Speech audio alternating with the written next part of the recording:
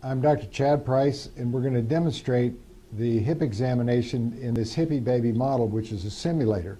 As you can see, it's a rubber model, so it's stiffer than a newborn baby, and you would be a lot more gentle than a newborn baby. But this will still give you the feeling of reducing a hip. One side is dislocated, and so that would be the Ortolani positive side when we reduce the hip. The other side is reduced, but it can be pushed out of the socket. It's unstable, so that would be the Barlow positive hip. Now, as with babies, we don't want to simply just spread the legs. That doesn't produce much. We want to lift and toggle. So we'll do the dislocated hip first, the Ortolani positive. Put your finger over the trochanter and, and just lift and toggle gently. There's a little bit of abduction. I think you can see that. And the hip pops in and pops out.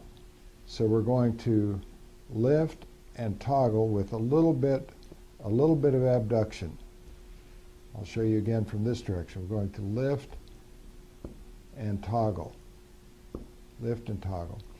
The other side is Barlow positive, so we'll, we'll gently push back uh, this way and then lift and toggle. So we push it out and then lift it in. So it's push out then lift and toggle. And you can see there's a little bit of abduction, but we're not doing wide abduction.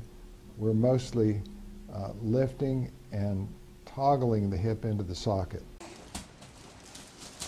So we put our finger on the trochanter, push back just a little bit, and do the Ortolani test and just lift the hip into the socket.